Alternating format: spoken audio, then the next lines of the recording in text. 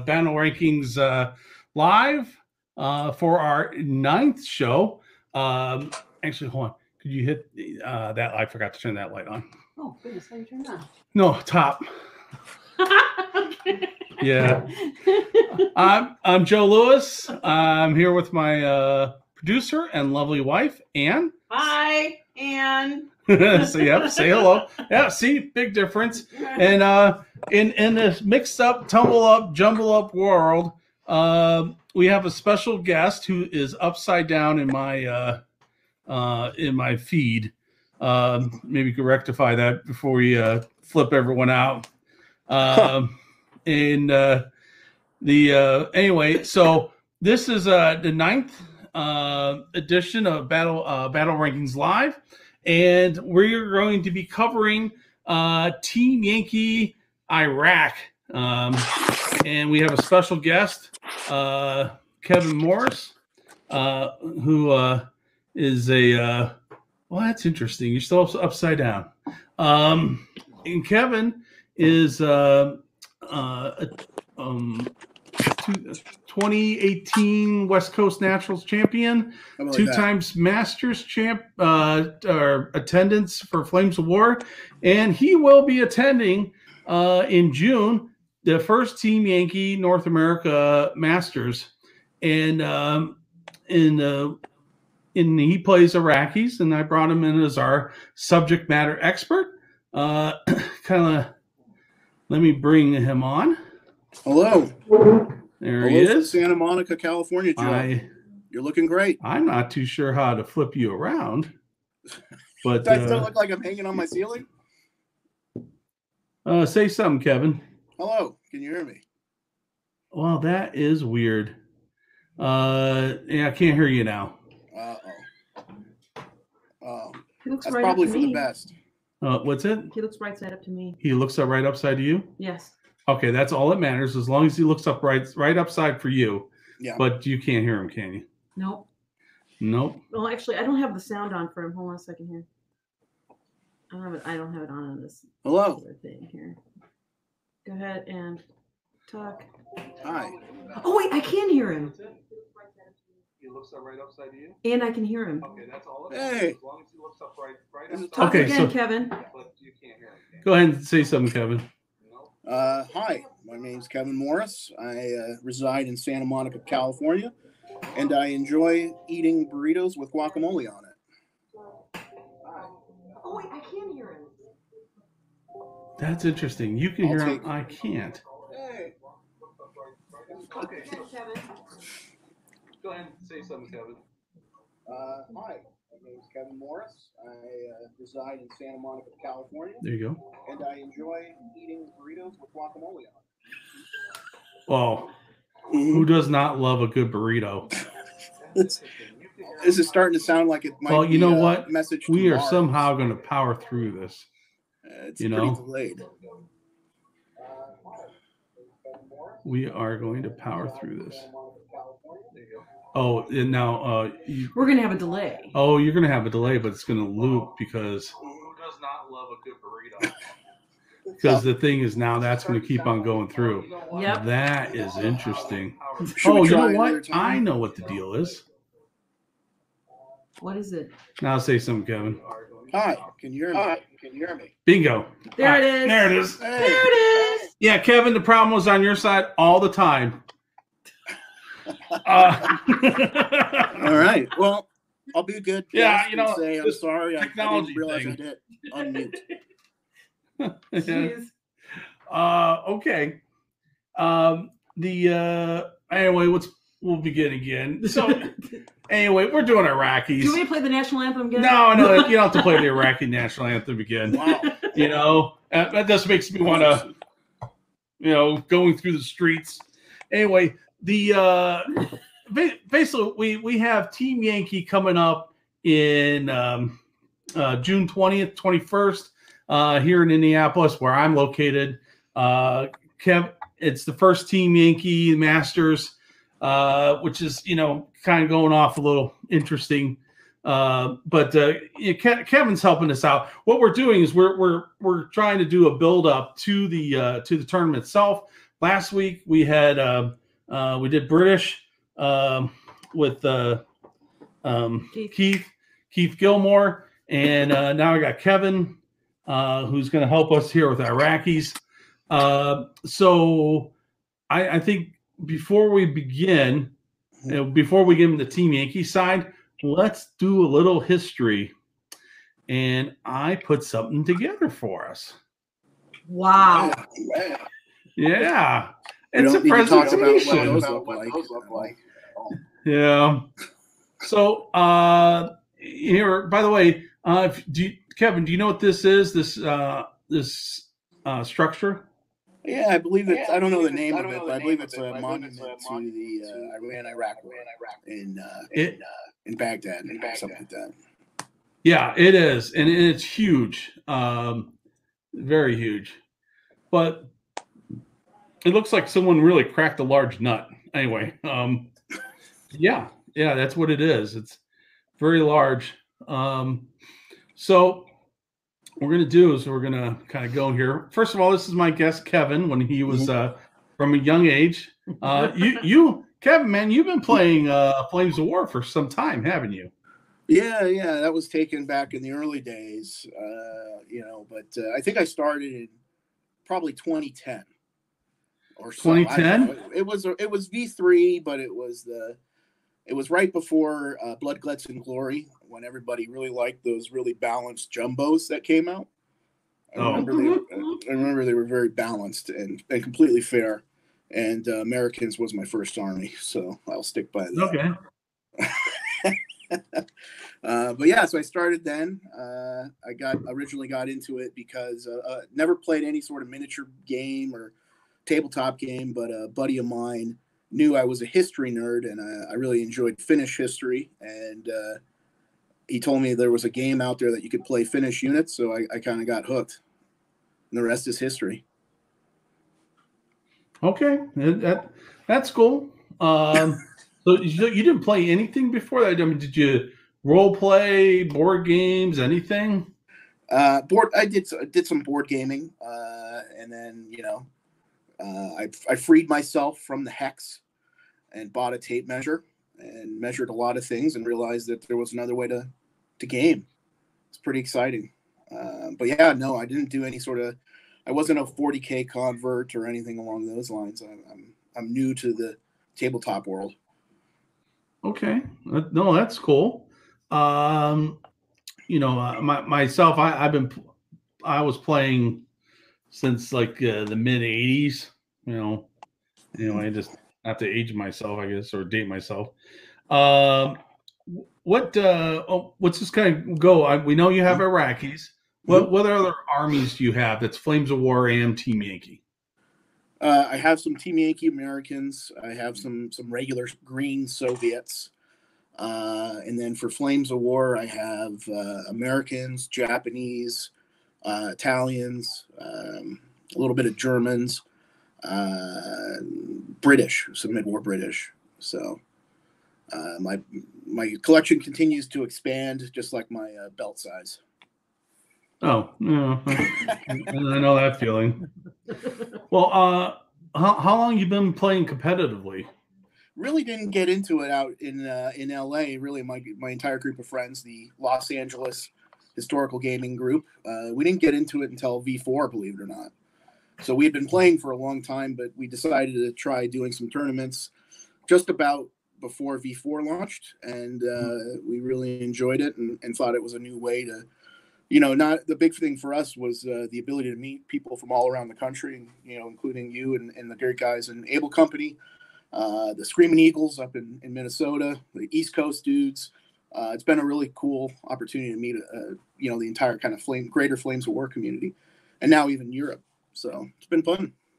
Yeah, yeah, because uh, you you've been uh, to one uh, European team champion. Uh, that was in. Um, It was in uh, Serbia. No, yeah, Sad. Serbia. I was a I was a ETC newbie, uh, but we had some fun. Uh, rolled some dice. There were some extracurricular activities, uh, and you know, we we fought through the headaches. Just put it that way. Yeah. It was fun. It was a good time. No, I you you know I, I think if you, got the time, you know, you get the time away. That uh, does sound like fun. Mhm. Uh, you know, and, and pretty good competition too. So yeah. uh, you know, Yeah, I, I've been really following. Yeah, I've been following the ETC stuff for well, I don't know since the first U.S. team went. Um, she was uh, maybe like five years ago, six years ago. yeah. The, the Um, true uh, godfathers of of competitive flames of war. yeah, the the Trailblazers. Yeah. yeah. Yeah. It's All been right. fun. Yeah, it's good, and and and that's that's uh, if you if it wasn't fun, then why would we do it, right? Right. Right. That's the key. It is a hobby. It's fun, but uh, we can get our competitive juices flowing from time to time, and you know, hopefully, uh, I know the Iraqi book has been out for a while, but hopefully, there's a couple words of wisdom for any listeners that might be uh, interested. Maybe maybe get convince a couple people to buy some T72s or 62s or 55s and all the great Iraqi support. That's my goal. Oh, that's good because um, I, I didn't really know anything.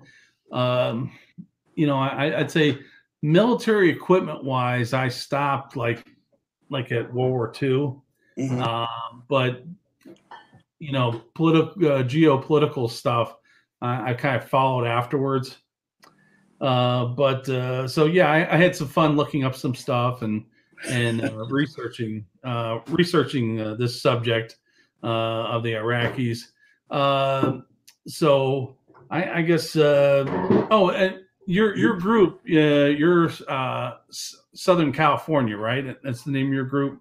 Yeah, yeah, we, we go by many names, but uh, the one that uh, fellow Angelino Igor Torgeson came up with was uh, Lost Angeles Historical Wargamers.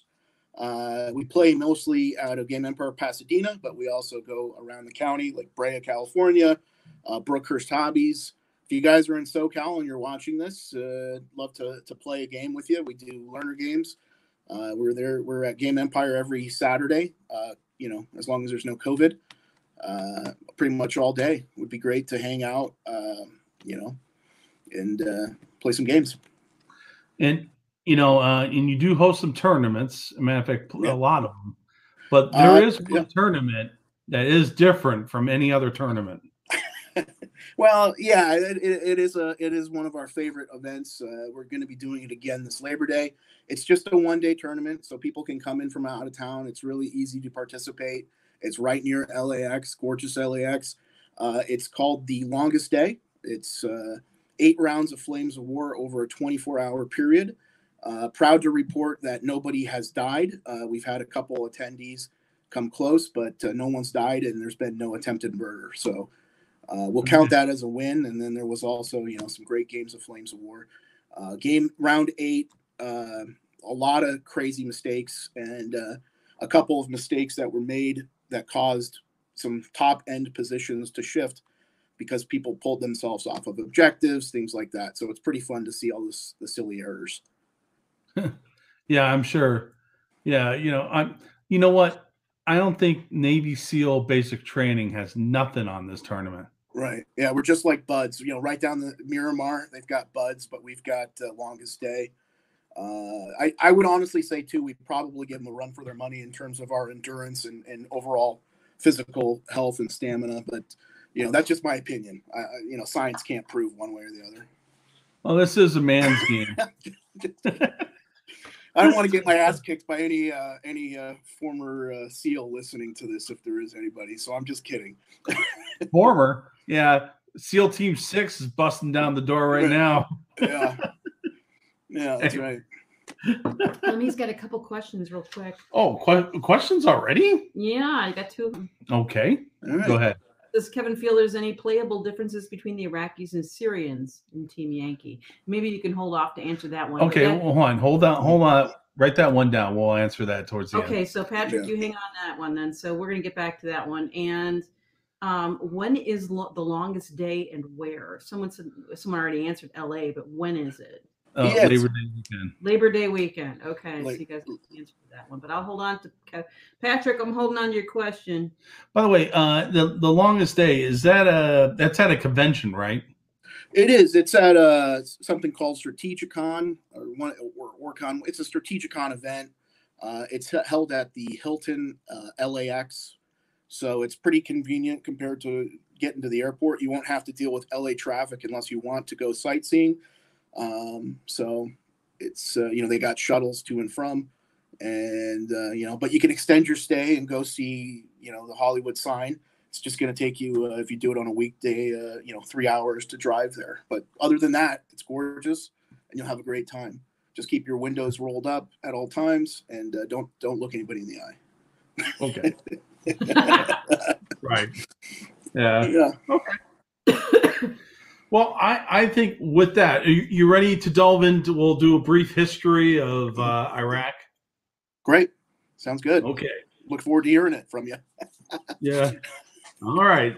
So, okay, here we go. Well, so I did this overview uh, for you people at home. You might uh, large the screen. Uh, I, I leveraged some other people's work and uh, brought it here to you uh, to view.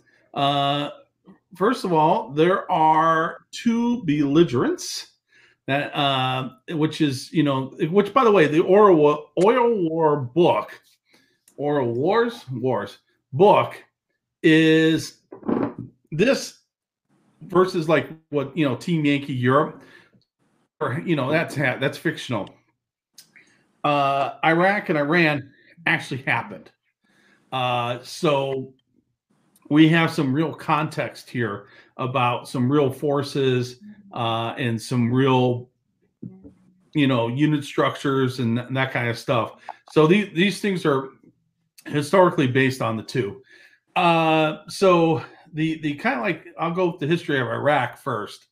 Uh, and by the way, you can't talk one without talking the other. So uh, Iraq um, had uh, a a coup in the late fifties where the Ba'ath Party with two A's uh, took over uh, in the military coup, and from the Ba'ath Party, um, which I believe was we didn't figure out was it Shiites or Sunnis. Um, Okay, I think the Shias are in the Iran. That they're the leadership of Iran, okay, and the Sunnis I think are in Iraq. But All right. So anyway, whatever whatever background, but you know, Saddam was more secular. Okay, we'll just put it that way, and he was religious when it was convenient. Okay, and uh, he took over in ni- around 1979. Uh, he rose up. He was a general. Then he became, El, you know, El Presidente, which is interesting. They call him a president, but he's really a dictator. Meanwhile, across the Tigris and the Euphrates is uh, Iran. Uh, and for the longest time, it, it had a monarchy or a Shah.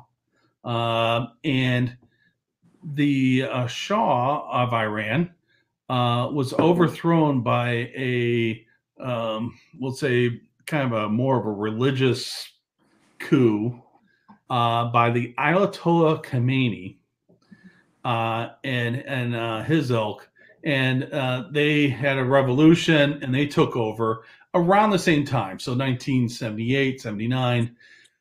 And uh, if you're uh, alive like myself, I think everybody remembers that um, well, at that time the uh, the student the student uprising uh, taking the American embassy hostage, um, and which uh, basically changed nightly news here in America uh, because instead of taking it in their daily, the major networks started running nightly news. And it was, um, and every day you, you know, at 11 o'clock, you would see on, well, East Coast, every, every time you would see like Nightline or something like that. Ted Koppel come on and say, you know, the Iran hostage situation, day 275. Ba, ba, ba, ba, ba. And, and it was like, every day that they were just uh, talking about what was going on. So, uh, anyway, so that that's what's there. Uh, so you basically had two governments that had a changeover, uh, each one a little bit violent, and um, each one kind of thinking they would take advantage of the other uh, in the st- stability. Uh, Iraq wanted to expand because this little section down here, uh, I'm kind of pointing with my cursor, uh, where the where they um, their father's expanse. Those are people who are uh, Arabic, and they were kind of on the wrong side of the river with Iran with that border. And see, the Iranians are are basically Persians and the and by the way, this is this is the simplified version of history. And Iraqi was basically uh, uh, Arabic. And now, yes, there's Shiites and Sunnis, and there's Kurds involved. I'm I'm trying to keep it simple for the audience, and and we we don't have two and a half hours to discuss the the history of the of this conflict. But the, the main thing is is that hey, you know what? I got some peeps over there I can use it because it, as you see on this chart, which is the one I got it, there's oil reserves all over the place. And plus, if you can look down here, really can't see it, uh, it actually expands his um, um, access to uh, to the uh, uh, the Persian Gulf. Uh, the the thing is, is that it, Iraq is almost a landlocked country, except for that little sliver there, just north of Kuwait. And uh, so, hey, you know what? If I could get more shipping and I can get some oil out of it and get some more peeps, I'm good, right? So that's what uh, Saddam's thinking. Meanwhile, uh, Khomeini, um, he is thinking, you know what? That guy's a heretic and he's got to go. That is it. so basically, uh, Saddam's thinking, I want this oil and uh, and the Shah is thinking, oh, not the Shah, but uh, Khomeini is thinking, I want that guy's uh, head and put in a more uh, a religious type, um, you know, Sharia law, that kind of stuff in Baghdad, uh, part of their thing. So anyway, we have so uh, on the two sides, uh, you had uh, at the start of the war, uh, the Iran had a, uh, about a let's say 100 to 150,000 soldiers. Uh, Iraq had 200,000. and if you look as we go through it, there was a lot of people killed um, as as they went through it. Uh, part of the thing is is that if you take a look for for something that was like a, almost an eight year war, these guys they really didn't go anywhere. Uh, you know, I, I, Iraq, yeah, Iraq had, you know, a big thrust, kind of, but they spoiled it, and, and then, then they got pushed back. Guess, hey, guess how they pushed them back? Yeah, that's right. Hey, you civilians become martyrs, and then they just rushed at them like old Soviet tactics you know, basically, I'm going to hand you a gun and hand this guy a bullet. And if one falls, you guys pick up the other one. All right. But meanwhile, keep moving forward because that's what Allah wants you to do. they said, okay, somehow you get people to sign up for it. And what ended up happening was uh, right around that border, it turned into trench warfare. Yeah, I know, trench warfare. Who would think? But yeah, they dug trenches. And as these human waves came across, the uh, Iraqis digga, digga, digga, digga, and you know that's why the the debt is much uh, as high as it is. Uh, they went back and forth. Now, so yeah, it's kind of interesting. Um, human waves. Oh, another thing to back off those human waves. Uh, Iraq did something to help balance things out uh, since they weren't going to get their people to do human waves because no one's going to believe that uh, uh, Saddam found Allah uh, so, but Saddam did find something called chemical weapons, and he fired those things on over and was slaughtering people left and right with mustard gas and, and whatnot. Uh, so Saddam had no qualms about taking out human waves with chemical weapons. So, yay! So it sounds like a great party time over there. so now, now I'm going to show you. Uh, so there's Saddam, young, dapper Saddam. You know, so much life uh, to go. Yeah, looks good. You know, the world is his oyster. And this guy, I mean, look at uh, Kham- uh, Khomeini. I mean, he really pulls off the uh, Unabomber look. So he's got that that that stare going down that burns right through uh, men's soul.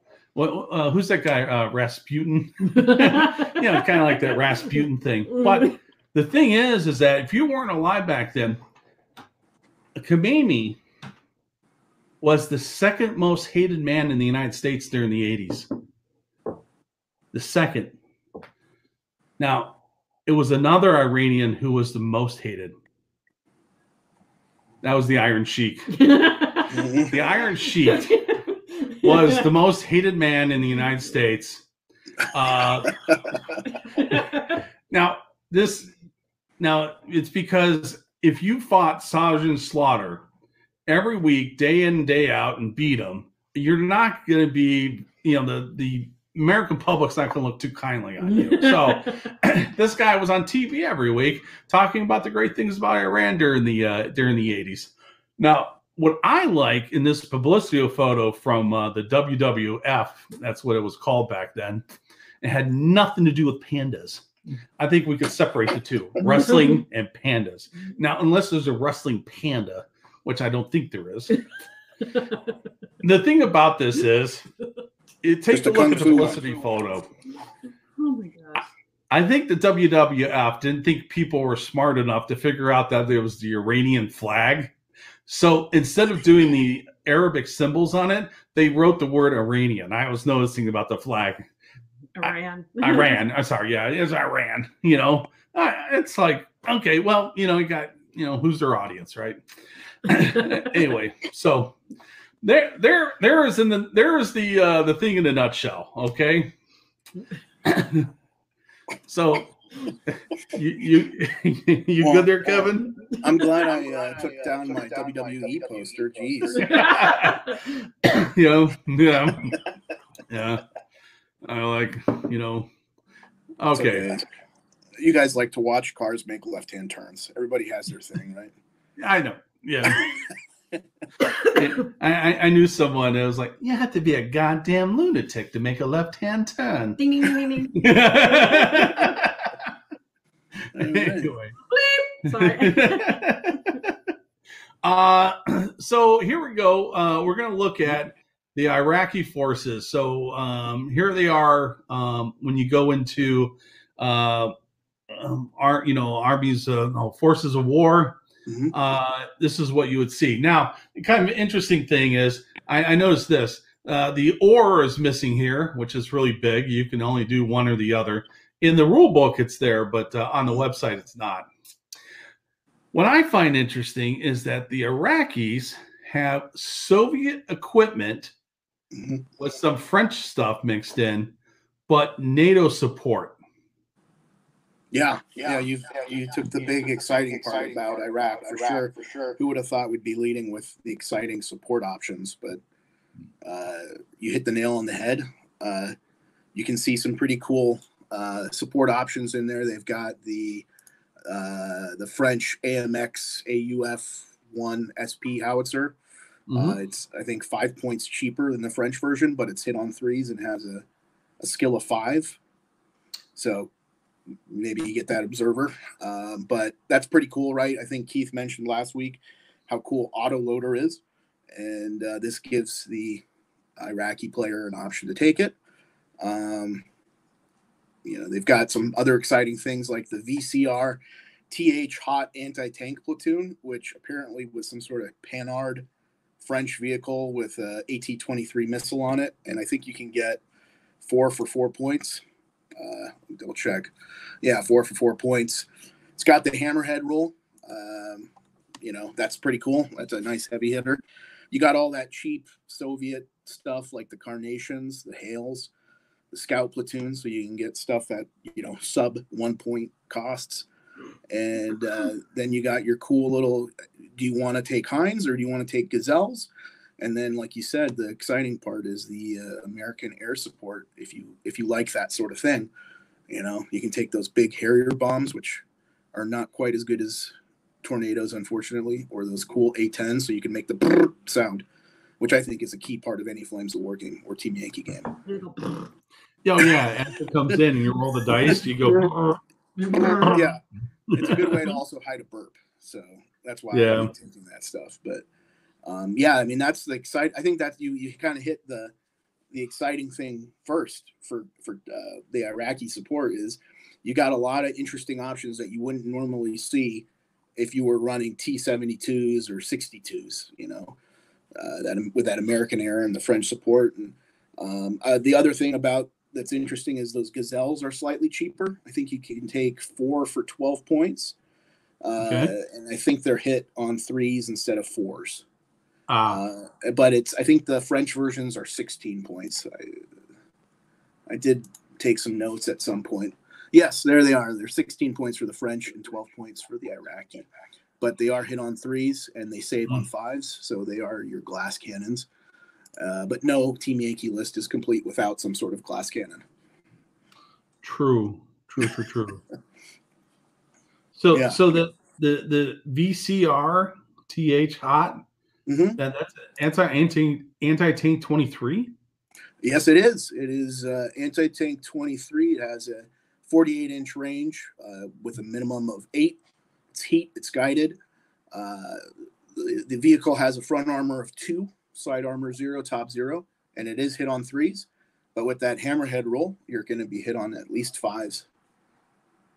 So, So why I- why don't you go ahead, for those who don't know, explain the hammerhead roll. I, you can fire your, your missile and, and remain gone to ground, I believe. Uh, I don't have my card ahead of me, but I believe that is the rule. Somebody can correct us in chat if I'm just spewing nonsense. Um, but uh, but that's pretty key, right? You know, maintaining that uh, gone to ground. Uh, and uh, you know, for four points, you can get those things, man. That's that's a pretty cool little unit. And if you're running Iraqis as your main force, um, you know that that's something to consider. I think everybody would want to consider, and uh, you know, stay tuned on whether or not Iraqis are your main force because the one thing that you cut off there is, and the exciting thing to to you know completely blow my excite excitement load is you can take NATO allied formations. So, so that opens a whole new world of excitement, um, and that's kind of how I originally got excited about Iraq was uh, prior to this book, I was running mostly Abrams tanks. And uh, as everybody knows, I think an Abrams tank is pretty expensive, and especially if you upgrade them with the IMP armor. And, uh, you know, there's never enough of them to go everywhere you want and protect your objectives and assault the enemy, blah, blah, blah. So this Mhm. provides uh, U.S. players with an exciting option to have that kind of quintessential Soviet horde that uh, that you didn't have before. Because everything everything in the list is cheap. Um, you know, quality of units uh, questionable, or you know, put an asterisk there. But uh, Sure. it it it uh, you know when you when you combine it, I'm sure most people here are you know that are listening are, are doing some form of form of it, but combining that Soviet kind of tank swarm, be it 72s, 62s, 55s, whatever your, your flavor is, uh, with those Abrams, which are you know just the ultimate assault monkey, uh, is pretty fun. Well, uh, I, I guess let's uh, let's move on to that. Uh, Mm-hmm. So, if we whoop, Ooh, yo, what that? what- what's that? Oh, Wait a minute. okay, yeah. Oh, how, how did he pop up there? Oh, it's like the ghost. Anyway, Who's that?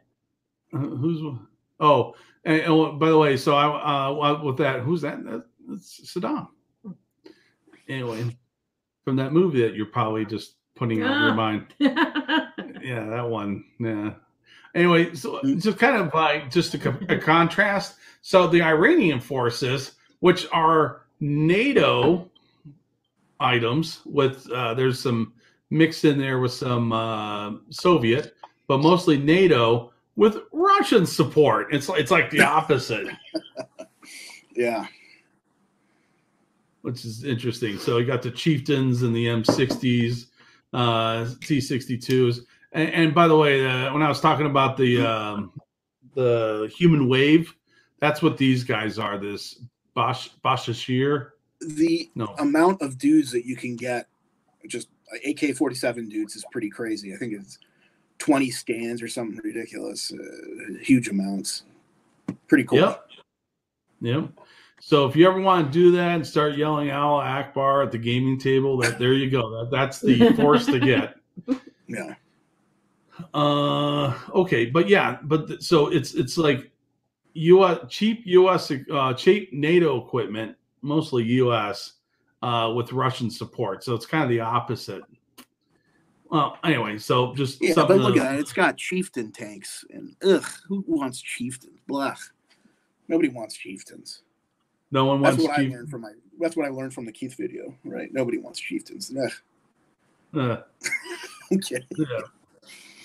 yeah. But yeah, you're right. It's it is interesting. It's basically the reverse. Yep. So we'll uh, go here. So yeah, we were you were talking about the tank battalion. So you Mhm. got you got the T seventy two M's, the T sixty twos, and the T fifty fives.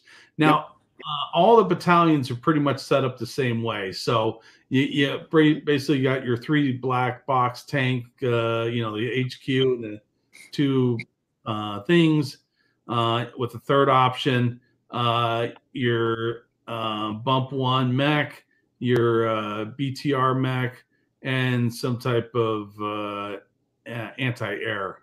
Mhm. Um, so, but let, let's uh, let's kind of look at the tanks themselves.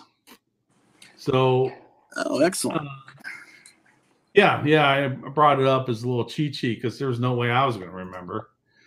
Um, now, by the way, I, I found out that the T seventy two M's, Mhm. I believe, were actually made in either Czechoslovakia or in Poland. They were not made in Russia. Right. I think that uh, I heard that somewhere too. Probably Yeah, yeah, and I think- droning on at some point. And I think they called them M's because, um, uh, oh, uh, I think the U.S. referred to them as monkeys. Just uh, Yeah. No, no. Uh, yeah. did. Yeah, they were known as the you know the T, the seventy two monkeys. So I don't know. The- anyway, T seventy two M is uh, it's an interesting tank, as you you said, uh, in terms of it's the export version. So most Soviet players, if they play mainline Soviets, or especially from the beginning of Team Yankee, would know that the T seventy two has a AT of twenty two and Mhm. a front armor of sixteen, side of eight, has that BDD armor, which busts you up to a, what is it, a thirteen? Uh, Right. But but it's you know it can be a little pricey. You can you can get five for twenty two points. Um, but the T72M, the export tank for the Iraqis, you can get five for 13 points. So you're saving a good amount of points, but you're losing one front armor. You have bazooka skirts, which only means side of 10 versus heat, uh, and an AT 21. But, uh, you know, and, and that extra loss of AT really hurts when you're going up against NATO tanks, like uh, such as the Abrams or the Leopard 2 and all that. Um, but what's interesting is that tank and you know the Iraqis still hit on threes. It's got a skill of five, assault five. It's got courage four, morale for remount for It is pretty similar to all the other Pact tanks. They've got you got you know your Czechs, your Poles, your East Germans, and they're all just kind of little tweaks in terms of you know one has a better remount and courage. I think the Poles have like fearless uh, you know, and uh, others have even worse. Ah, but, cool. uh, yeah. Ass. Yeah, they are. You know, they're stubborn ass Poles. They uh, let's see, the Polish one, for instance, they've got courage three, remount three, counterattack three, but for five of those things, it costs sixteen points. So you're Joe's paying a few extra how we points. oh, Uh, you know, it's three extra points. I'm just, Yeah. so, uh, you know, it's it's but you, most Pact players will recognize the T72 and and realize or the T72M and, and you know most of these tanks are just small little changes in terms of the uh, the morale and the skill. Right. You well, know, let's, let's would Mhm. now when you when you're looking at tanks for an Iraqi army, are, are you trying to get the 72Ms or or do you even look at the 62s or the 55s? Well, uh, I think for me, the T 72s definitely have their place. But, you know, if you look at the, you start to go down to the 62s and the 55s, uh, the armor is basically the same. You know, you're going to get penned by all the high AT stuff anyway. Uh, Mhm. You know, but the, the big difference there is obviously the AT of the weapon and uh, slow firing, and you don't have laser rangefinders. But Mm, boy, look at those points costs. That is uh, that's some pretty cheap armor. I know you Right. asked questions before about how do you deal with the Soviet swarm. Well, this is your Soviet swarm. Um, you know, for me, out of those cheaper tanks, I think the 62 is pretty cool. It's not much more than the 55, but you're getting a little extra AT. Right. Um, you know, it, just in case you can get lucky as you're going in uh, to some of the mid-range kind of, you know, generate first generation main battle tanks. And uh, Mhm. But uh, yeah, I mean that's your swarm right there. Is that's your bread and butter. Um, I think 70, 72s still have a place. Uh, you know, because you, I mean, look at you could take three for seven points. That's pretty crazy for the Iraqi T seventy two.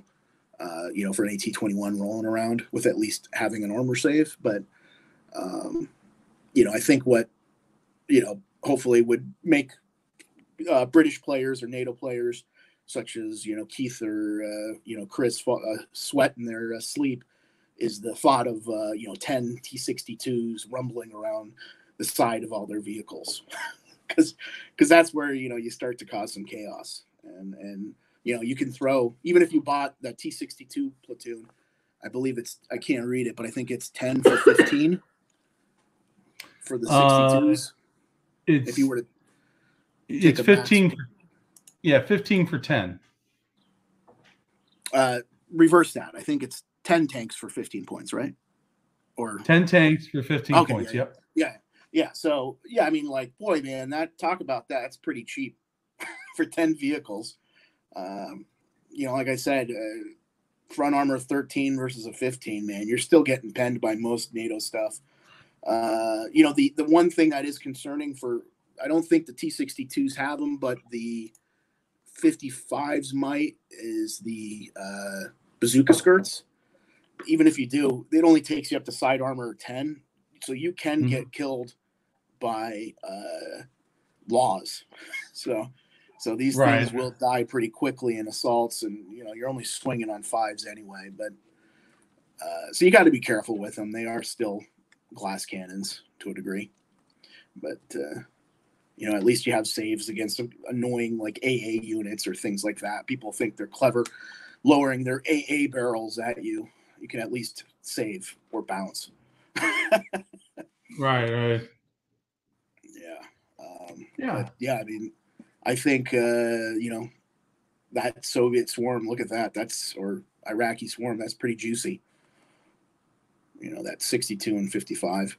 And I guess apparently I don't know if they covered it in the book because I'll admit I only have the forces or Team Yankee Forces of War, but uh, the Type 69 tank that Iraq bought from China was called the 55A or something like that. If somebody knows in the chat, please correct me. But so you could run 69s, Type 69s as your 55s, I think, in this. Yeah, actually, I see in the chat that um, uh, Rich mentions. I was reading about that. Yeah, because uh, when the war was going on, there was an embargo, and uh, you couldn't ship uh, equipment to uh, people. And I, I like how the Soviets were playing both sides. You know, oh, you uh, you need the equipment, huh? I I give you a deal, okay? And then uh, you know the then Iranians came over. Oh, equipment!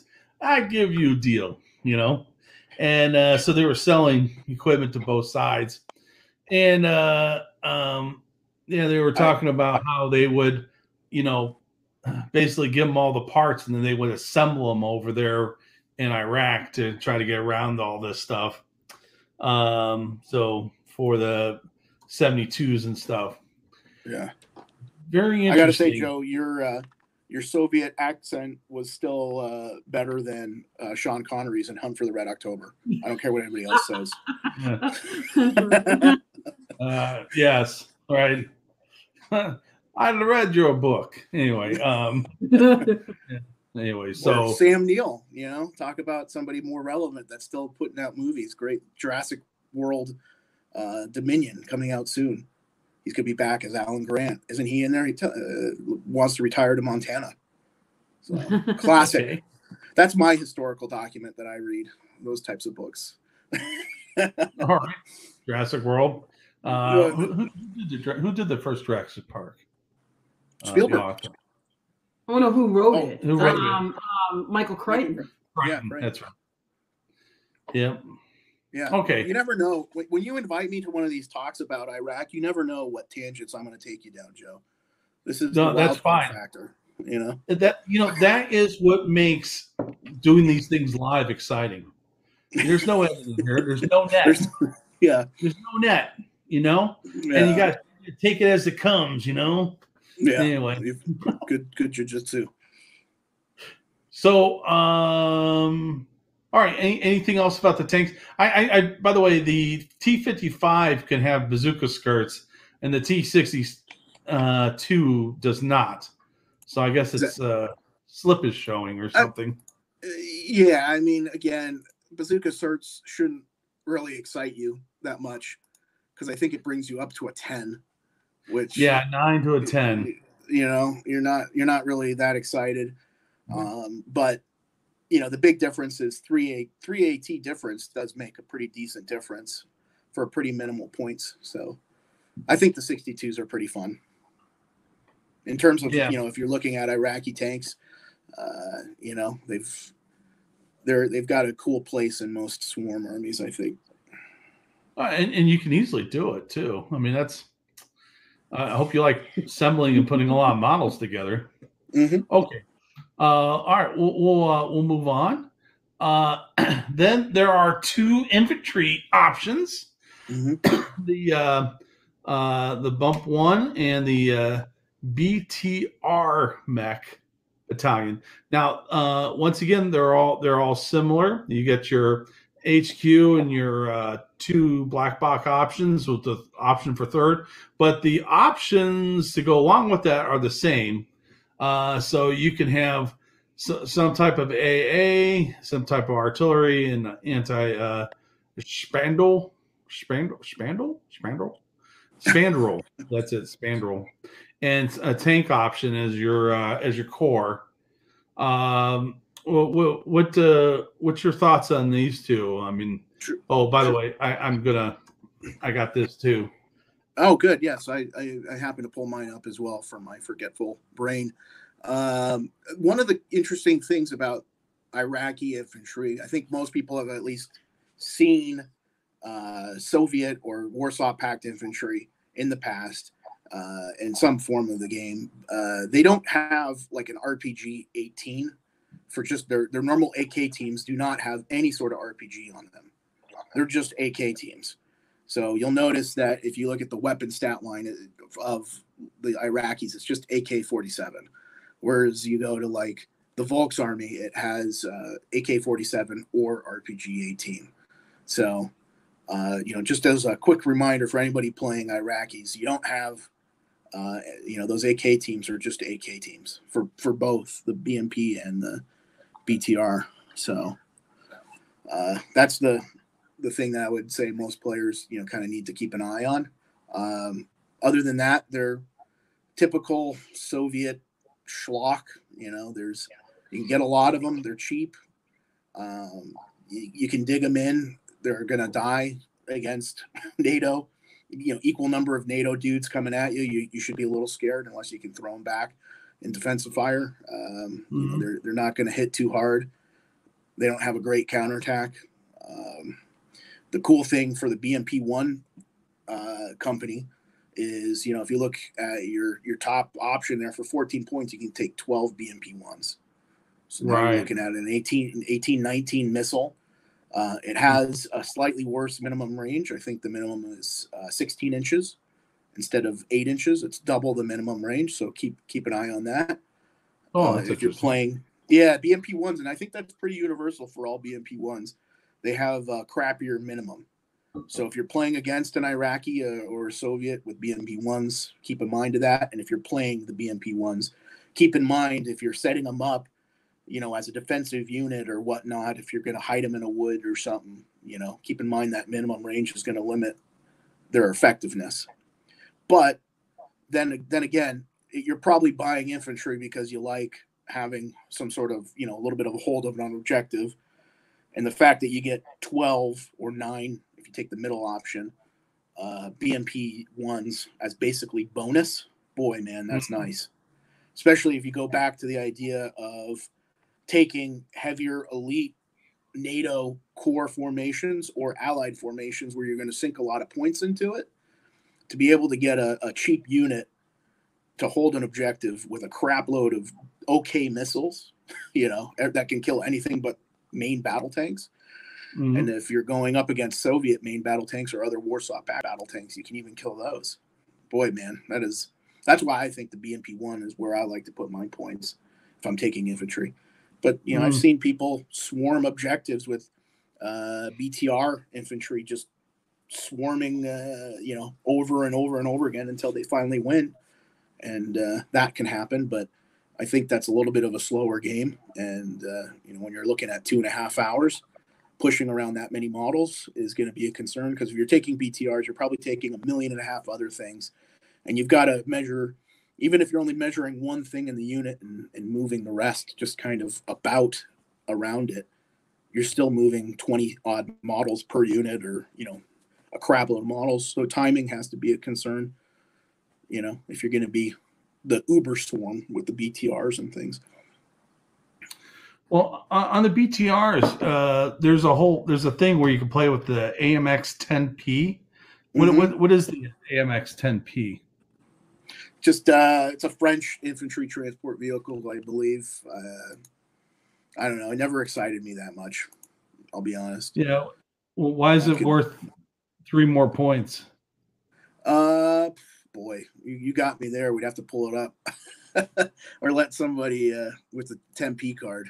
Let me see here. I'll pull it up uh, while we're looking at it. I even have I have some French in boxes, but I don't know. It never excited me. Let's take a look. Well, I, I noticed one thing about the the BTR company. I mean, uh, you get a lot of guys. Oh, by the Mhm. way, it, they're AK 47s. Meanwhile, the Russian infantry has AK 74s. Oh, yeah. I it must be. I don't know the difference between them too well. I'm I'm not a huge gun nut.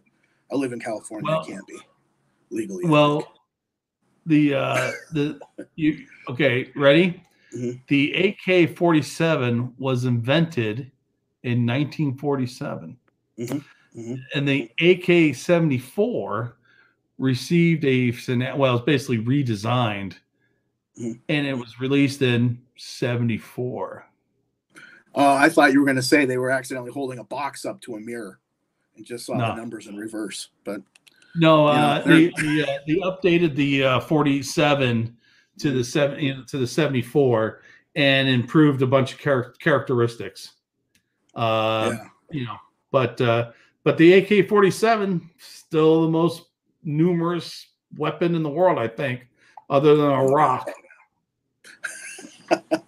Yeah, there's quite a few of those. Yeah. Um, the uh, AMX 10P is front one, side one, top one. It's got a anti-helicopter AT6 uh, 20 millimeter cannon, an MG, optional Milan missile. I don't even know if you can get that with the Iraqis. Uh, you you can you can get you can add a Milan for two points for the BTR group. Ah, there you Uh, go. And you say the Milan mount, a Met company mounted uh, the MP10P transports may remove the Milan missile team before the game and mount it uh, a a Milan missile up to three transports of uh, AXM10s. So basically, for five more points, you can get yourself three Milans. Well, I mean, at that point, eight, I know the Milan is AT twenty one, but uh, geez, that's a lot of points. You might as well just take a crap load of BMP ones and do it the good old Soviet way. Oh, just overwhelm. But Yeah, I, I mean, you know, you can get for fourteen points, you can get uh, twelve of them, right? So that's pretty good. well, speaking of which, let's let's, let's take a look at these weapons. Wait a minute. What? Wait a minute. Yeah, There you go. Yeah, actually, it's supposed to move. Uh, yeah. Yeah. Okay. Anyway, so yeah, yeah. There's so there's the AK-47, the uh, PKM light machine gun, uh, then the RPGs, uh, RPG-7. Boy, there's a lot of those in the world. Yeah. And here's the Yeah. two things I, I like to talk about: the uh, the the uh, surface. Uh, to, I guess that's surface to air missile 7 is that a Grail? Um, and uh, I, I this I, I was looking at this bad boy, and I'm like, you know, there's no. I, I had to see a video of it taking, you know, being shot. There's no blast shield for the face. So when you let this thing go, I mean, are, are you getting peppered in the face with some ba- back exhaust? I'm just curious. Uh, it's a literal one shot weapon in that case, then, right? Yeah, yeah. And then, and then then this the uh, the uh, um, a Sagger. Now, by the way, when I was putting this together, and I put in, I just put in the word Sagger into the browser. I didn't get missiles.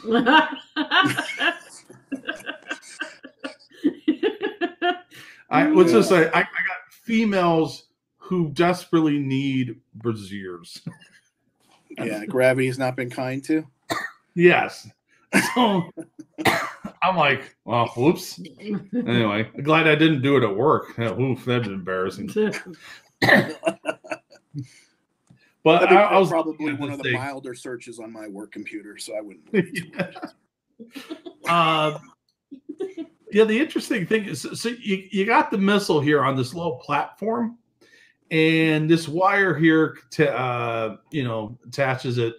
And what you do is uh, you look through the little the viewfinder here, and it kind of does a telescope thing up. And then there's a joystick, and the guy controls the missile and brings it into the target. I'm like, well, that's interesting. I and I think this thing's wire guided. So and, and this can't be the spool. The spool must be in this tank or something. I don't know. Uh, but I, I think it's wire guard, and Someone probably could correct me out there. You know, I'm sure someone would be more than happy to correct me. Uh, well, we would but- also want to know how many rivets it has if you are going to be able to correct Joe. So, you know, please let us know in the comments below. That's a trick question. There are no rivets. I'm just kidding. I don't know.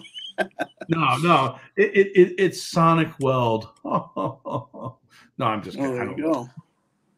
but yeah, so that's the little Sagger uh, missile unit uh, that, uh, that you know they joystick fly right on in.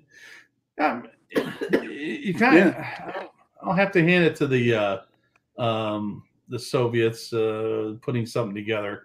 But uh, I know one thing: uh, they must have a lot of wood there in, in Siberia uh, because all their weapons have wood um, on them. Anyway, uh, Yeah. Very good point. It's gorgeous. Good Uh, grain. But yeah, and it, by the way, it's a nice stain. I, I like that. You know, it's Yeah, not it's yeah, not good too light, color. it's not too dark. Uh, you know? you know, the Battlefront ones have like a really, really light paint job when they first started showing the how to paints. And I could have never believed it, but you know, that looks pretty close, I guess, to their suggested Yeah. paint paint scheme. So tips tip of my hat. Uh, are, are there any special, um, you know, rules uh, for the Iraqis? Boy, I don't I mean I this is, there's really not many special special rules for any of the factions as I'm uh, but you know, I mean they've got if you know if you play Soviets and you know the Soviet rules, uh, you'll you're 99% of the way there. Then you just got to know things like uh, Hammerhead, uh, and uh, autoloader. But you know, there's some Soviet units that have autoloader. Dana's, I think. Uh, somebody can correct me. But uh, yeah, I don't think there's any special ones. The special rules is in their formation support. Like I've said, you know, the fact that you can take NATO uh, opens up your possibilities significantly. Well, um, yeah, so I, I brought it back to that.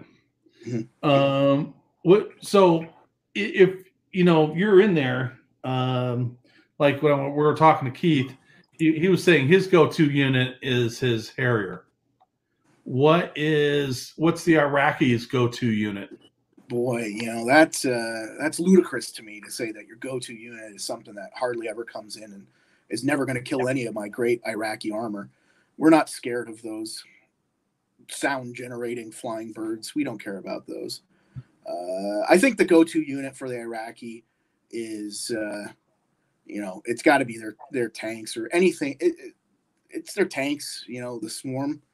I think is the go-to, and that's the attracting thing. That was the original attracting thing to me, as a, as an originally a USA player, was uh, you know the low cost and uh, you know sure the the hot the VCR hot support unit there is pretty awesome, um, but you know you don't take a an entire list just so you can get one little unit like that for four points.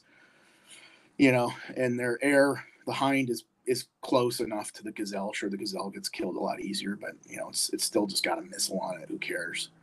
But uh, you know, artillery is artillery. Right. Mm. Well, would would you go Hind or Gazelle?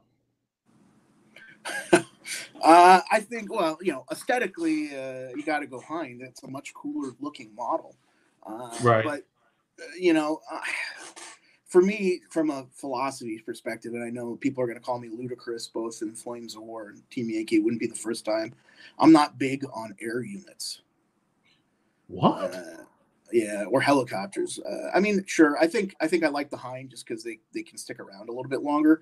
You know, that four up save is uh, pretty hilarious. The Gazelles, I feel like, you know, you're going to run into a 50 cal somewhere, and it's going to be a bad day, and you're going to lose airplanes and or uh, helicopters, and you'd be upset.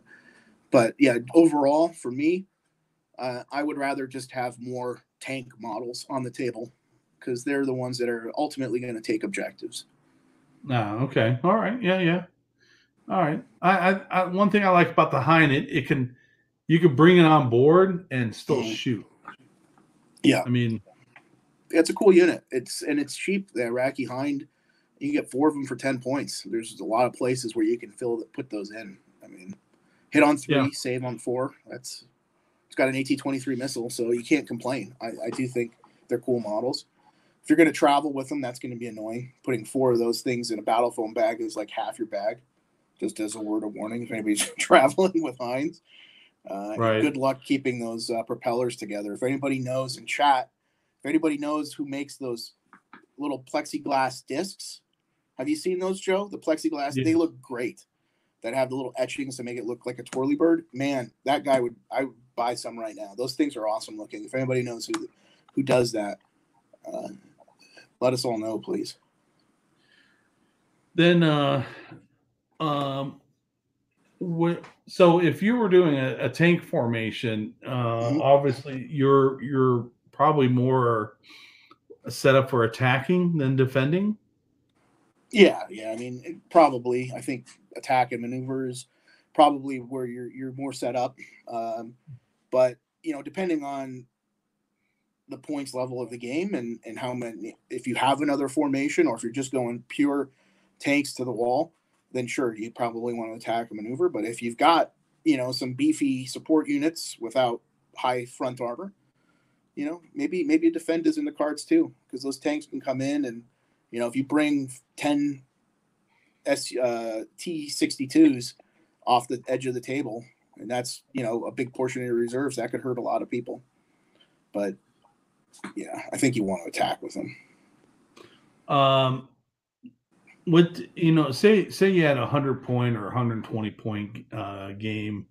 Uh, what what NATO formation do you think you'd pair up with with the Iraqis? Uh, I think everybody should, if you're going to do it, I think look at the Abrams. So the armored cavalry I think most American players have kind of shifted away from an Abrams tank company to that armored cavalry. It's not maybe as good as it used to be in in uh, version one, where you know having that reroll with your formation leader could make them run away. That uh, you know armored cavalry really was pretty cool back then when you were risking a basically a one point unit, but you know that armored cavalry still has some pretty cool things. It's got a lot of integrated scouts, and uh, you know you can only bring one platoon of M uh, M1s if you want.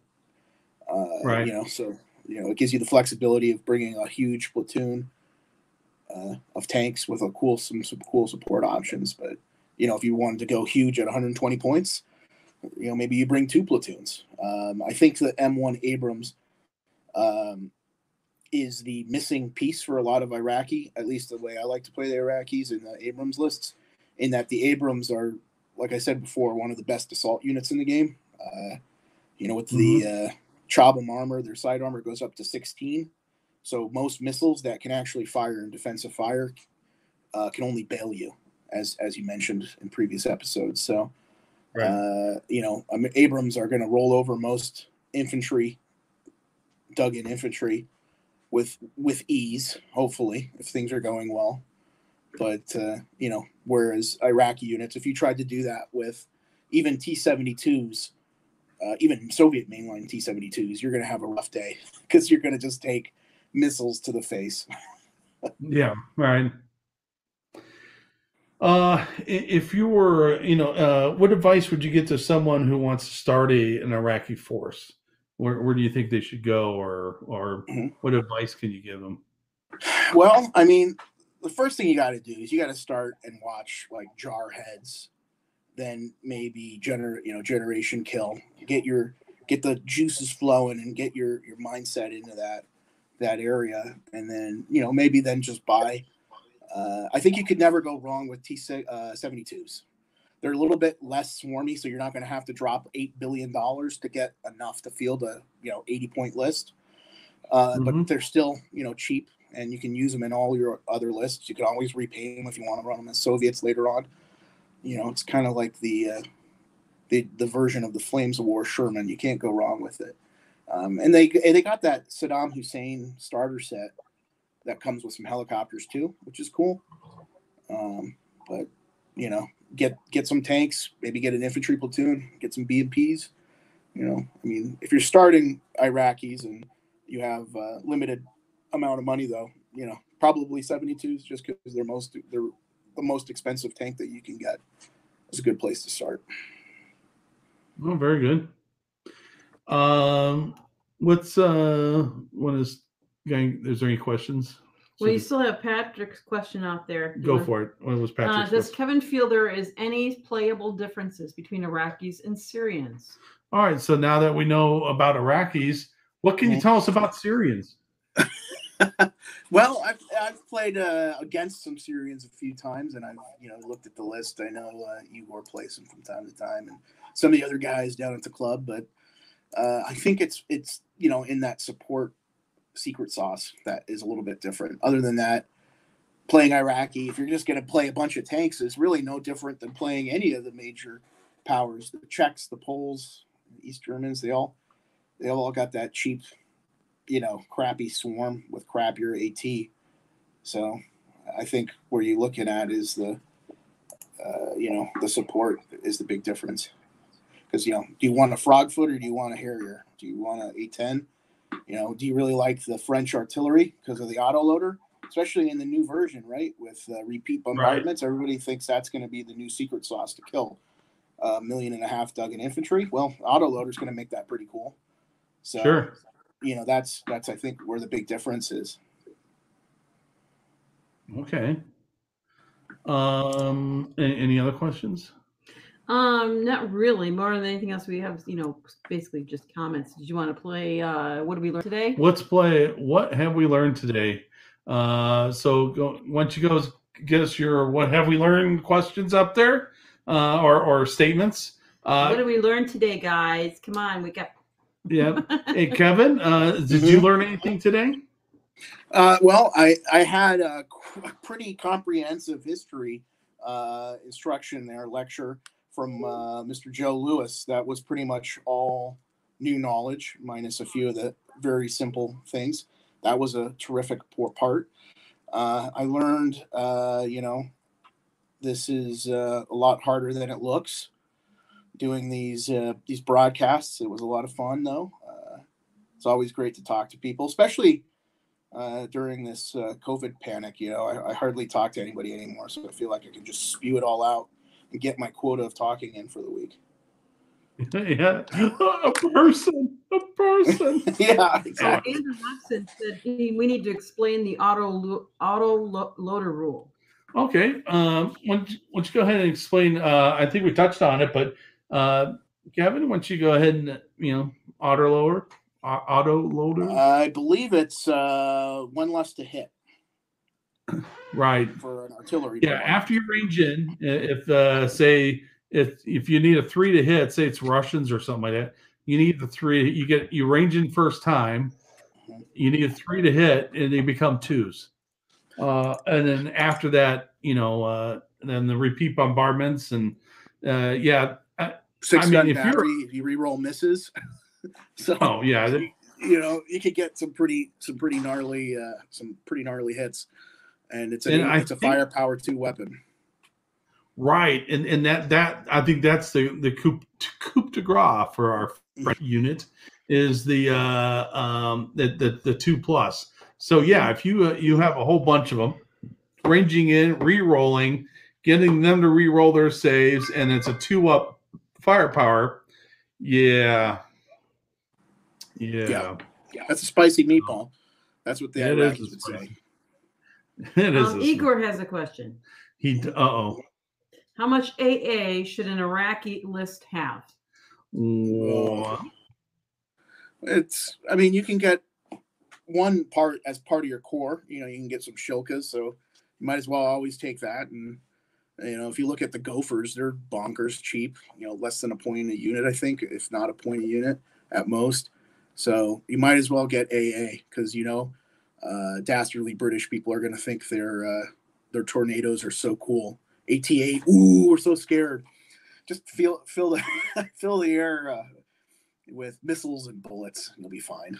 But uh, you know, as part as an Iraqi player, you don't care. Blow up some tanks. You know what? Those are acceptable losses, and I'll keep saying that till the end of the game when I have nothing left. It's all acceptable. it's awesome. Well, you know what? Uh, Saddam and the uh, Ayatollah uh, agreed. Agreed. Yeah, right. Let's see what people learn here. Eric Deutsch said, I learned that there is another cool player out there.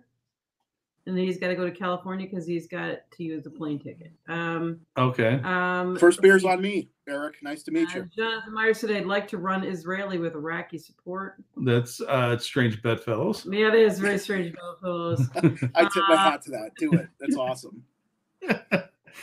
That's Yeah. incredible. Okay. Just don't Uh, launch any scud missiles. today. Okay. Oh, here's one. So I'm trying to scroll up here to Oh, I'm see- sorry. You got Kevin. You got, got a little walked on. I'm sorry. Well, What did you say? What did you say, Kevin? Did I get walked on?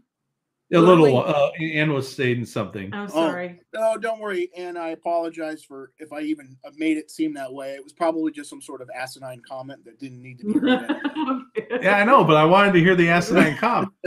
Well, I was I I was- was mentioning about the uh, Israeli Iraqi matchup. That's incredible. I tip my hat to it. Just don't use any Scud missiles. You know. Scud missiles. That's right. Yeah. Uh, yeah, that, that, that, that would make the, the uh, Israelis very little upset. Um, so I, what I learned today from Rick Bayer, I said, what I learned, uh, notice to Facebook so I don't get pulled for hate posts. This is a joke expressed to people I know. I hate Iraqis too. okay. Uh, Where's my report button? The Stephen Lawless said the SZS, sorry, ZSU 57 twos, they are super cheap and kill IFVs. uh, infantry fighting vehicles. Yeah, so infantry fighters is the case. And, and Andrew Hobson said, I learned Iraqis can't finish a, a game in 2.5 hours. You got to be Uh, careful about that. Andrew's 100 percent right, but that's any sort of Warsaw Pact player. You know, just you got to you got to keep you got to keep a mind of your time. And if you're going to sit there and try to move a billion and a half models, you're going to have two and a half turns. You know, at best. Yeah. Yeah, true, true. I, I think it goes for the any very very large army. Mhm, You know, mhm. yeah, you need to move fast. Um, yeah. any,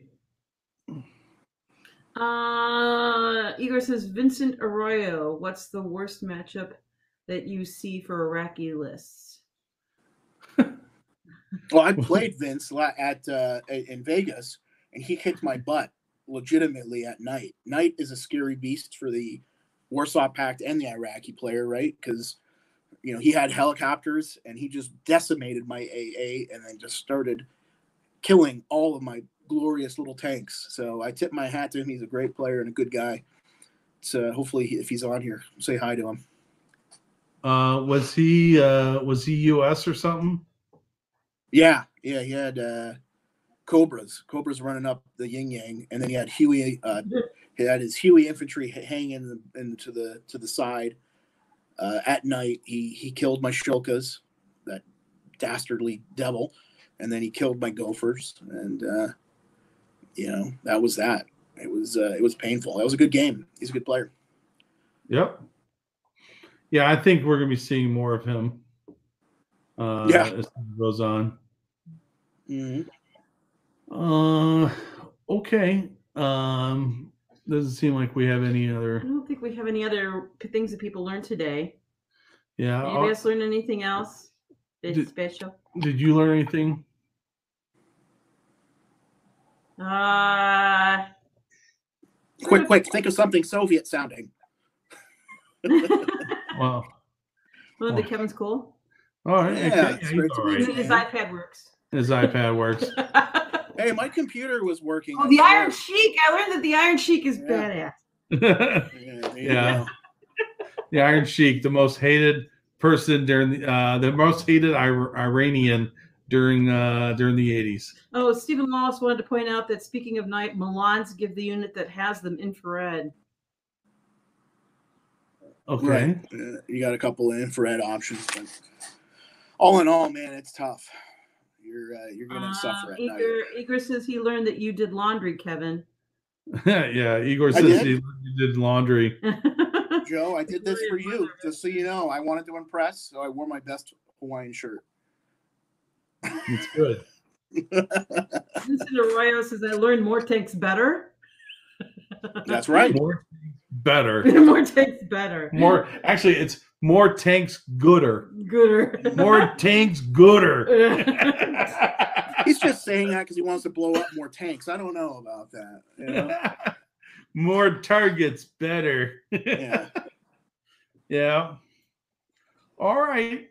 Well, uh, so what we're gonna do, uh, we're gonna, uh, gonna we're gonna be playing out here, uh, and that, um, well, first of all, this is actually the end. It's, it's fitting with the theme. Uh, this is the end of Ramadan. Ends up on the uh, the twenty fourth. So, uh, and it is uh, evening. Uh, so we're going to be doing this, and I just want to let you know for those people who thought I might come on here wearing like a turban and yelling Allah Akbar. I, you know what? I, I'm I'm above such activities, but and so what we're going to do is go out peacefully here. Uh, why don't you go ahead and play us out, Ann? And don't forget And- to say thank you. I know I got that right there. And Kevin, Thank you very Thank much, you Joe. It was a coming pleasure. on. Thank you for the invite. and it was a real blast. And I, I Yeah. can't wait to see you in June. Yeah, And I uh, can't oh, wait. but- We always have fun. yeah, uh, next week, the day after Memorial Day, I have Chris Fretz coming on to talk about the U.S. I That's might incredible. do something. Huh? That guy, you know, he's uh he's a pretty good guy. So uh, I'll I'll get my pen and paper out. I can't wait to take some notes, especially Yeah. on uh, being polite and uh, and kind to people. I really need to take notes on that part. Yes. And uh, and the week after that, and in two weeks, I got Chuck Heiner discussing the French. I'll bring uh, something to plug my nose. It's gonna be smelling really bad.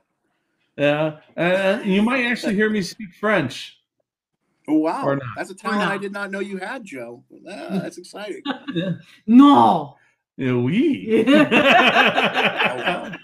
Uh, I feel like we're uh, Oh, you just transported me straight to uh, Champs Elysees. You know, That yeah, you know, it was as if you were on, yeah, Yeah. Uh, at a creperie on Yeah. some side street in France, and there I am in my little beret with a baguette and a glass of wine.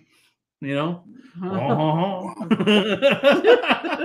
yeah, that, that sounds like fun.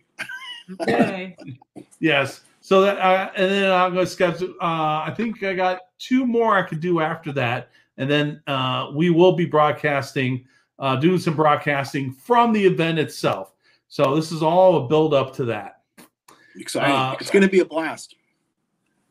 All right. So go ahead and play us out. Allahu Akbar. Allah. الله أكبر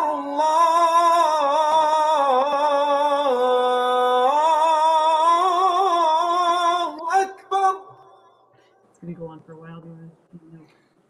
Well, we know what Akbar says. أشهد أن لا إله What- إلا he was a general in Star Wars, right? Akbar? No, no. Oh, wrong guy. Wrong guy.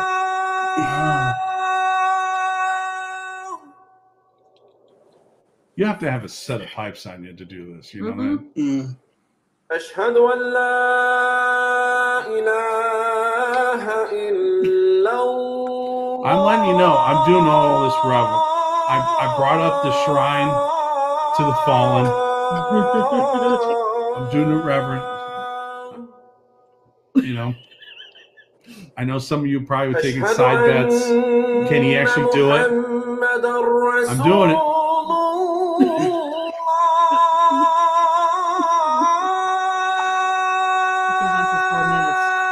Four minutes? Wow. That's a call to prayer. Four minutes. That's yeah. one heck of an outro. It, how many times do you have to ask? All right, everybody. Until next week.